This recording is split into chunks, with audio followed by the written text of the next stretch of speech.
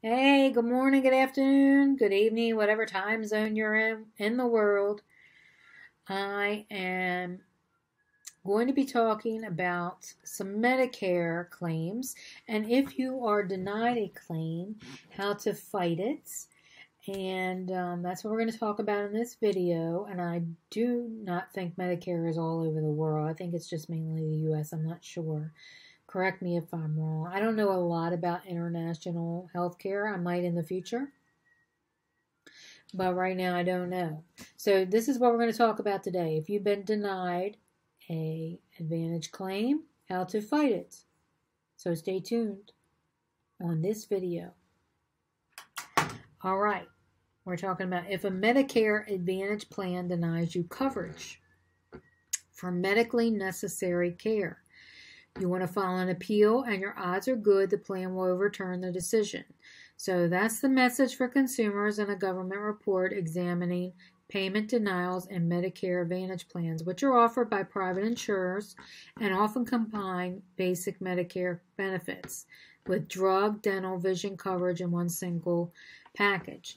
So, looking at appeals filed by Advantage enrollees and healthcare providers between 2014 and 16, the U.S. Department of Health and Services Office of Inspector General found that the plans overturned 75% of their denials.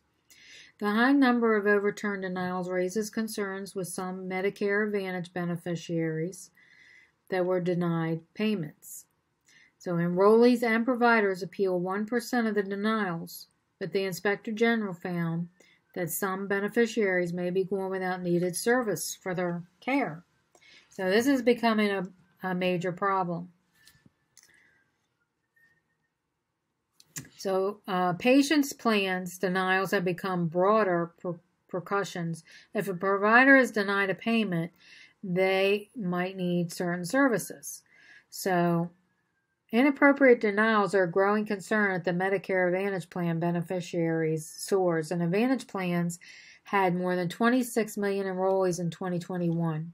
This is up from 11 million in 2011 because the government gives Advantage plans added flexibility, allowing them to offer supplemental benefits not covered by traditional Medicare. I'm eventually going to try and sell Medicare, by the way. I'm going to talk about it in another video. This is going to be one of my next ventures. Then I'm going to try and become an insurance agent.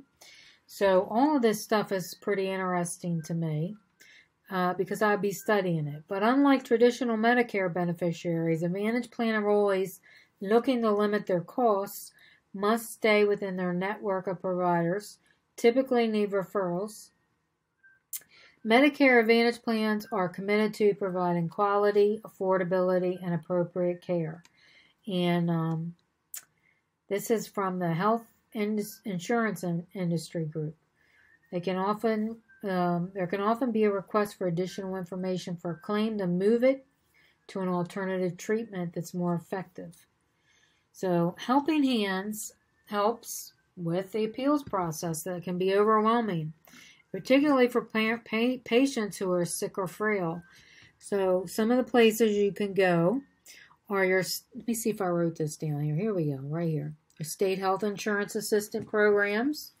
I'm going to leave this up for a minute while I'm talking. So, the Advantage Plan beneficiaries should read their denial services or notices. They should understand their rights to appeal and file appeals promptly. Patient advocates say the denial notices that plan they plan to send out to enrollees aren't always clear.